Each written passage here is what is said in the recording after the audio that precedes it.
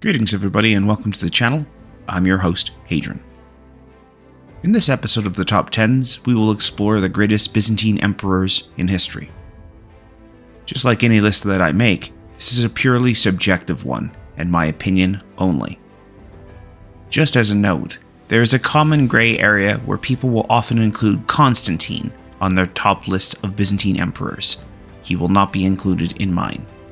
This is understandable as he is the one who founded Constantinople, the city that bore his name, and was the capital of that empire for many, many years. Many thus see him as the founder of the Byzantine Empire. I, however, have elected to include only the emperors who reigned after the fall of the Western Empire in 476, purely the rulers that we would consider to be Byzantine. And as another side note, there is no such thing as the Byzantine Empire. What we today call the Byzantine Empire, in its day would have called itself the Roman Empire. Byzantine is simply a modern distinction, used by historians to describe a very different cultural entity that arose as the Eastern Roman Empire aged and changed over the many years of history that it existed. But if you were to ask somebody who lived in that empire, they would have called themselves Roman. So if I use the phrase Byzantine and Roman interchangeably in this list, this is why. With that having been said, let's delve into this week's list. Number 10 John III. John III was born in Thrace to a highborn family in the year 1192. By the year 1204, the Fourth Crusade had led to the fall of Constantinople and the crippling of Byzantine power. The Latin Empire was established, and the rest of the Byzantine Empire became independent in its wake. In the year 1216, Theodore I, founder of the Empire of Nicaea, welcomed John to his court, seeing his potential as a leader, and married him to his own daughter, Lascarina, setting him up as the heir to his throne. In the year 1221, Theodore died, and John succeeded him, as had been arranged, sparking a war to secure succession from his opposition, which ended in 1224. The following year, John began a series of military campaigns, expanding his borders to reclaim territory that fell during the Fourth Crusade to the Latins. John continued his campaigns until the year 1242, when he recaptured the city of Thessalonica, which had been taken by the Latins in the Fourth Crusade. This victory marked the beginning of the reconquest of Byzantine territories. In the year 1254, however, John would die, but his lasting legacy was bequeathed to his people. In 1259, only a few short years later, John III's existing military campaigns continued after his death, culminating in a treaty which would lead the Latin Empire to officially recognize the Empire of Nicaea as the legitimate Byzantine successor state. The Latin ceded territory to Nicaea only a few short years later. By 1261, Constantinople was recaptured and the Byzantine Empire was re established as the Empire of Romania. Number 9. John I. John was born to an aristocratic family in the year 925. He fought in the wars against the Hamdanids at the side of his uncle. With the death in the year 963 of the Emperor Romanos II, John urged his uncle Nicephorus to take the throne, which he did with John's assistance. However, with palace intrigue, John was stripped of his command, leading to him to conspire to assassinate his uncle and seize a throne for himself in the year 969. In the following year, John faced several internal threats and rebellions by different groups within the empire. In the year 971, John led a successful military campaign against the Kievan Rus, forcing them to submit to Byzantine authority. Then in 972, he turned his attention to the Abbasid Empire.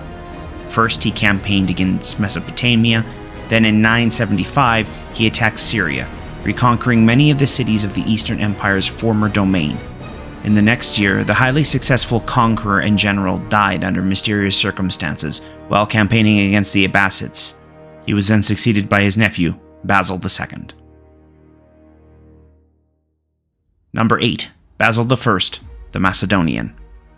Founder of the Macedonian dynasty, Basil I was born in the year 811 in Macedonia, then part of the Byzantine domain. Basil entered the service of a relative of Bardas, the uncle of the Emperor Michael III, eventually rising to the Emperor's favor. He was then forced to marry the Emperor's favorite mistress after having been ordered to divorce his own wife. In the year 865, Basil schemed to convince the emperor that his uncle Bardas was planning to usurp his throne after murdering him. Basil then murdered Bardas on the orders of the emperor himself, eliminating a serious rival and gaining more power at court. Becoming hugely popular, Michael invested Basil as Caesar and then in 866 as co emperor. When Michael lost interest in Basil, he knew it had become time to act. Assassinating Michael, Basil took the throne for himself, becoming sole emperor. For the next two decades, Basil faced internal challenges and opposition from supporters of other claimants to his usurped throne. Yet, despite his low birth and poor education, Basil continued to rule, respected by many in the court. He instituted a series of reforms to strengthen the army and the authority of the emperor. He led many military campaigns against the Arabs, the Paulicians, and the Bulgarians, continuing to expand the borders of the empire. Renowned for his hard work restoring the city itself and the empire he ruled, Basil died in the year 886 in a hunting accident, and Leo VI succeeded him. Number 7. Leo III, the Isaurian. Leo III was born in the year 685 in Turkey in the region of Assyria. An established general, he commanded the Anatolian province in the reign of Anastasius II. In the year 717, Leo seized the throne after deposing the Emperor Theodosius III. The same year that he rose to power, Leo was forced to successfully defend Constantinople in the Second Arab Siege of the city. Nearly 100,000 Muslims and 1,800 ships attacked the city, bringing the Byzantines to the edge of ultimate defeat. This siege lasted until the year 718. In this famous battle, the Byzantines deployed Greek fire to defend themselves against the Umayyad fleet, saving the city from capture. Nearly all the attackers and ships that embarked on this campaign never returned home, giving the Byzantines one of the most crucial victories in their entire history and crippling the Arab expansion into Byzantine lands for centuries. In 726, Leo began the first period of iconoclasm, sparking huge divisions in the empire. Iconoclasm is the rejection of the worship of icons and images.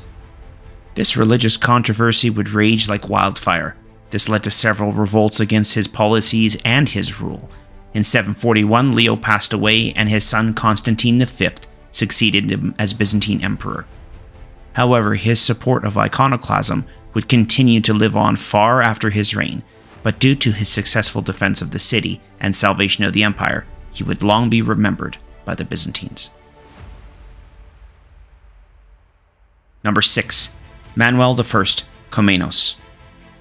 Manuel was born in the year 1118. He showed tremendous courage during the failed siege of Neo Caesarea. He greatly impressed his father, the then Emperor John II. The fourth son of the family, he had never expected to rise himself to the throne. However, he was handpicked by his father to succeed him on his deathbed, passing over his older brother Isaac, who was already in the imperial palace. Elevated by the army in the field, as they were still on campaign and far from Constantinople, he dispatched his aides to quickly seize the palace and city, securing his authority and most importantly arresting his brother before he could wrestle power for his own. Entering Constantinople, he was crowned emperor in 1143. Securing his position, he freed his brother shortly afterwards. In the year 1144, Raymond the Prince of Antioch, one of the Crusader states, sought protection from Manuel against the forces of the Islamic Jihad raging against him. Manuel ruled during the Second Crusade and had the unenviable task of aiding those crusaders through his borders, whilst defending his own territory against them during their passage, even clashing with them outside the very walls of Constantinople itself. In the year 1148, Manuel courted an alliance with the Holy Roman Emperor, marrying that emperor's sister in law, Bertha, which had been prearranged during his father's rule. Throughout the entirety of his career, he was forced to defend the empire against both Islam and the Crusader states, holding the borders of his territory together, a dangerous balancing act. Manuel fought many campaigns, even invading southern Italy in 1155. A master of diplomacy, his successful reign was only overshadowed near its ending with the disastrous battle of Myriokephalon and the subsequent collapse of Byzantine fortunes thereafter that followed in its wake. Manuel died in the year 1180. Number 5. John II Komnenos Coming in at number 5 is Manuel's father, John II. In the year 1087, John was born in Constantinople. He was the son of the then Emperor Alexius I. After the death of Alexius in the year 1118, John became the sole emperor after co ruling with his father for many years. Despite this, he faced resistance to his ascension to the imperial purple, even having to secure his position by forcing against the machinations of his sister, Anna. John faced resurgent trouble from a Turkic people known as the Pechenegs and defeated them in the Balkans in 1122, with the aid of the elite force known as the Varangian Guard.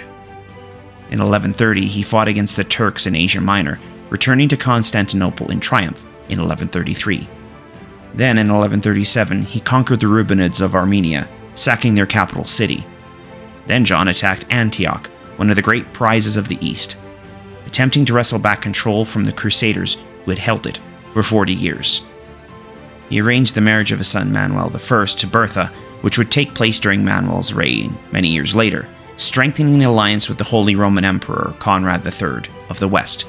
He again campaigned, this time in Syria in 1138, fighting alongside the famous Knights Templar, once again gaining victory. In the final campaign of his life, he returned to Antioch, desperate to try to regain control of it from Raymond, but he was forced to withdraw that winter and planned to return in spring to finish the job.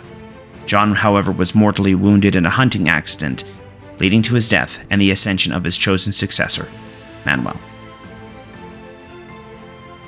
Number 4. Alexius I Komnenos. In the beginning of this trio of emperors, we have Alexius at fourth. Alexios ruled in a period of instability unlike any in Byzantine history, with the First Crusade. It would be Alexios's plea to the west that would inadvertently lead to the coming of the Crusade. In the year 1071, a monumental battle was fought at Manzikert, and the Byzantines suffered a humiliating defeat at the hands of the Seljuk Turks. These events led to the turmoil in the empire at large. Alexios was born in the year 1057, and by the year 1078, he was appointed as the commander of the Western Field Army by the Emperor Nicephorus III. He ascended to the throne in the year 1081 at the age of 24 after joining a conspiracy to overthrow his predecessor, he then began the long and arduous work of undoing all the damage that had been wrought against the empire and its shrinking domain. For 37 years, he was in a state of near constant struggle. First, the Normans under Robert Guiscard and Bohemond, his son, attacked Dyrrhachium and Corfu. Several defeats transpired before he was finally able to take the fight to the invaders. Using shrewd diplomacy, he bribed Henry VIII, the German king, to attack Italy and the Norman holdings there. In Thrace, he was forced to deal with the threat of the Pechenegs and the Paulicians. The biggest threat, however, that he faced was, of course, in the east, against the Seljuk Turks. The Turks had almost completely conquered Anatolia and wrestled it from his empire. This was the struggle that caused Alexios to seek aid from the west, resulting in the coming First Crusade. He would help the Crusaders through his territory after exacting a promise from them to return any Byzantine cities to their control after they had been taken in exchange for his aid. During the Crusader siege of Antioch, however, Alexios had led an army to march to the assistance of the beleaguered Crusaders, but he was incorrectly informed of their defeat, and thus he withdrew from the field, never coming to their aid. This crucial mistake caused a permanent breach between both factions, the Crusaders and the Byzantines, they never forgave Alexios for abandoning them in their darkest hour. From that point onwards, any city that the Crusaders took control of, they kept, forming the Crusader states, much to the angst of the Byzantines and Alexios. Exhausted from his years of struggle, Alexios died of disease in the year 1118, leaving the throne to his son John to carry on his family legacy. Number 3. Heraclius. Heraclius was born in the year 575 in Cappadocia, in modern day Turkey. Heraclius would rule during a massively chaotic time, watching most of the empire slip away, only to rise up and to reclaim it all in a stunning victory that would echo throughout the ages, setting the stage for the coming rise of Islam and its conquests. In the year 610, Heraclius was proclaimed Byzantine emperor after rebelling against the unpopular Emperor Phocas, thus beginning the Heraclian dynasty, he inherited a crumbling empire and immediately set to work saving it from destruction. From the years 613 to 628, Heraclius faced the invasion of the Sassanid Persians, who had captured huge swaths of the Eastern Roman Empire and its territories, including Palestine, Egypt, and Syria.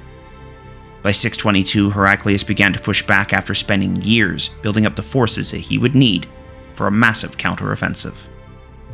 However, in the year 626, the Avars and Persians laid siege to Constantinople with 80,000 soldiers, while Heraclius was in the field in the east, away from the city. Dispatching a third of his army to help hold Constantinople, he kept the rest and continued his aggressive campaign against the Persians by launching a massive counteroffensive straight into the heart of the Sasanian Empire.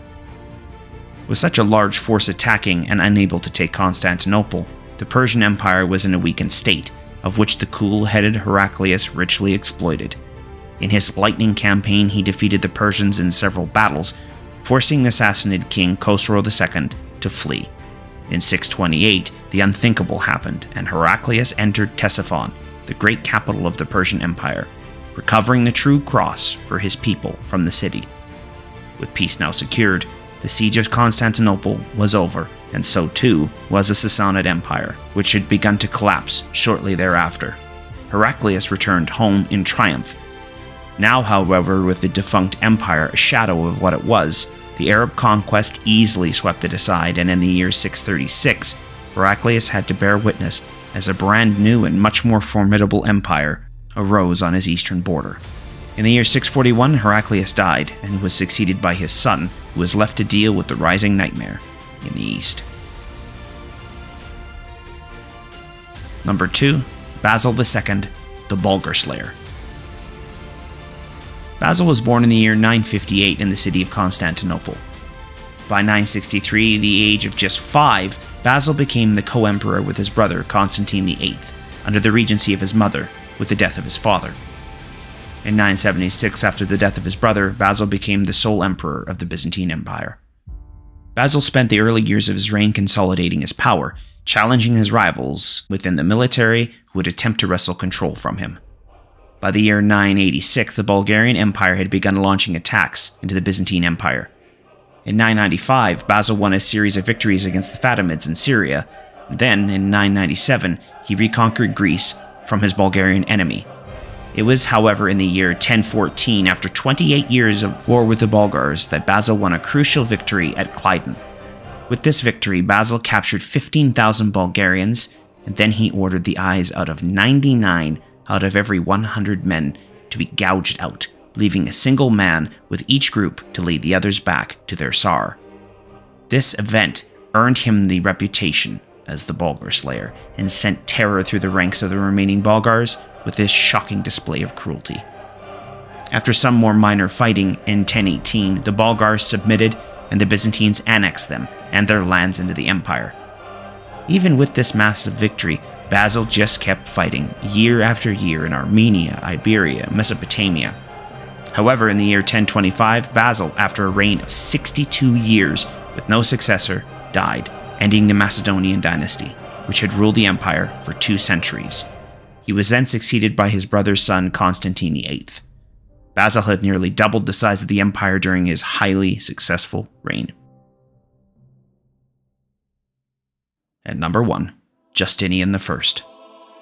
Justinian was born in the year 482 to a peasant family in northern Macedonia. This remarkable man and his rise to power is truly an incredible story. The last Latin emperor, Justinian dreamed big and put bold plans into action to achieve his goals. Far from the perfect emperor, his hands were soaked in the blood that were spilled upon them. He was a man, however, of great resolution and ability to entrust leadership in the hands of capable servants and officers. Rising to power in the year 518, he became co emperor with his uncle, Justin. However, with the death of his uncle, Justinian became the sole emperor in the year 527 the first challenge to his rule was during the Nika riots in 532. This enormous uprising in the city of Constantinople was led by opposing factions, demanding the removal of certain officials that Justinian had placed in charge. Nearly ready to abandon the city, his wife, the Empress Theodora, inspired him to stand firm and hold the city in the face of the uprising. Brutally suppressing the riot, nearly 30,000 civilian rioters were killed. However, with his rule secured, Justin could set his sights on his ultimate goal first preserving the empire and then expanding it once more into its lost territories. By the year 532, Justinian's eastern frontier had been secured, and his ongoing war with the Sassanids had ended with an eternal peace. This allowed him to turn his sights on the reconquest of the Western Roman Empire. First, he set his eyes on North Africa, and from the years 533 to 534, he entrusted the great general Belisarius with the campaign. Belisarius recaptured it from the Vandals, reuniting it once more with the Byzantine Empire. In the year 535, Justinian launched the reconquest of Italy, first under the command of Belisarius, and then later the general Narses. The campaign was initially extremely successful, pushing back the Germanic tribes. The forces of Belisarius reclaimed the city of Rome. Around the same time between the years 532 and 537, construction of the great Hagia Sophia, or Holy Wisdom, was begun in the capital. This spectacular building was in its day one of the greatest ever constructed. Built as a church and now serving as a mosque, the building still stands in Istanbul today and is truly a wonder of the ancient world. The empire's territories continue to expand with North Africa, large portions of Italy, and eventually southern Spain itself. However, with the outbreak in the year 542 of the bubonic plague, also called the Plague of Justinian, the city's population and economy was devastated. Powerless to stop said devastation, Justinian was forced to watch as all that he had built crumbled around him. Justinian died in the year 555 and was succeeded by his nephew, Justin II. He was often referred to as the last Roman, being the final emperor of Rome to speak Latin and not Greek, which would soon become the language of the new realm. So, do you agree with the list? Any emperors you feel that should have been included or excluded? I would love to hear about it in the comments below. Also, the usual stuff like, comment, subscribe, all that. It helps grow the channel, and if you are a fan of this type of content, I imagined you would want that. Thanks for watching.